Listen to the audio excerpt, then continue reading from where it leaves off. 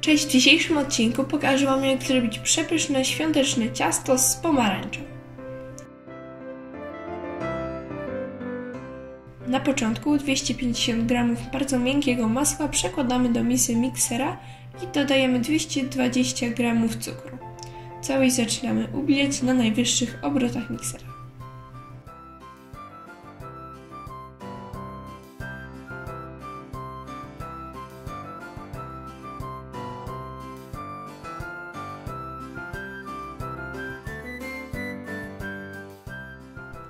Następnie dodajemy 4 jajka i miksujemy.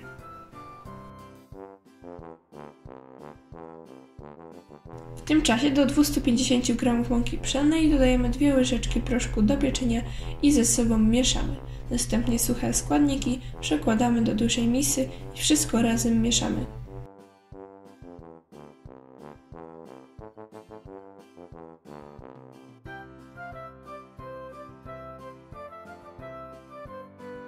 Na końcu, gdy ciasto będzie jednolite, dodajemy 90 ml soku z pomarańczy.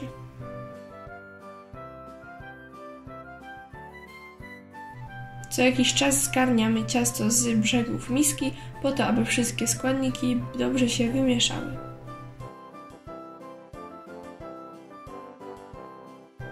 Gdy ciasto będzie miało jednolitą konsystencję, jest gotowe. Przekładamy je do blaszki wyłożonej od spodu papierem, a boki wystarczy posmarować odrobiną jakiegoś tłuszczu. Ja użyłam smalca.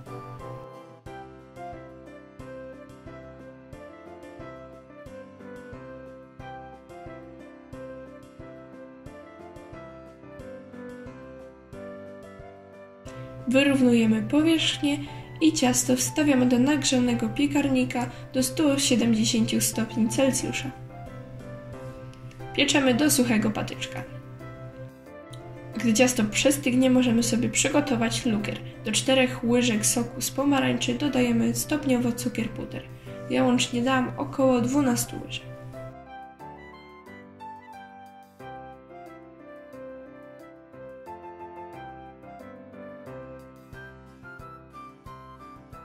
I następnie wylewamy na ciasto.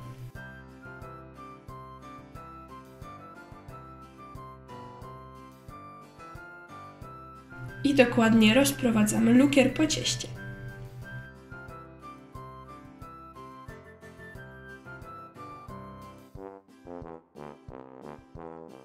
Na koniec jeszcze posypujemy skórką z pomarańczy i przyzdabiamy jeszcze cynamonem. Ja jeszcze go odrobinę starłam i posypałam go od góry oraz ułożyłam na środek dwie pałeczki cynamonu.